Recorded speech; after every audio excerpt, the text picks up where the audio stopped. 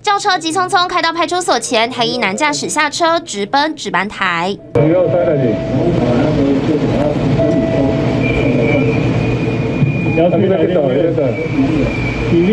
一听到爸爸的求救，远景二话不说，穿戴好装备，立刻出发，一路上狂开警笛。只不过这里是台南永康区，车流量本来就很大，还一度塞车卡在路桥上。抵达医院之后，妈妈立刻抱着瘫软的孩子下车。发烧，高兴吗？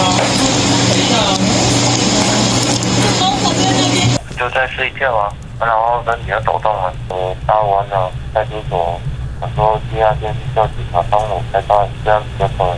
原来这名两岁的确诊男童，十二日中午发烧到三十八点五度，下午快筛阳性，晚上睡觉时突然身体抖动，父母认为可能是抽搐，担心叫一一九要等，选择自己开车。经过台南永康的大湾派出所时，爸爸请求警方协助开道。原本到医院要半小时的路程，只花十分钟就抵达。驾驶警用巡逻车，沿路开启警示灯及鸣笛开道。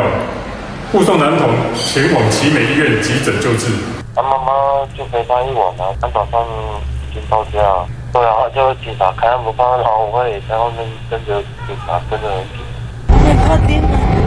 当时事态紧急，为了要追上警车，狂催油门，连行车记录器都歪了。确诊男童爸爸在脸书分享过程，也感谢警方协助送医。幸好孩子在医院治疗后病况已经稳定，隔天就出院，继续居家照护。TVBS 新闻顾守昌、宋家娟台南报道。掌握全球情势、国际新闻，全新选择 YT 频道 TVBS 国际 Plus，扩大视野。欢迎订阅并开启小铃铛。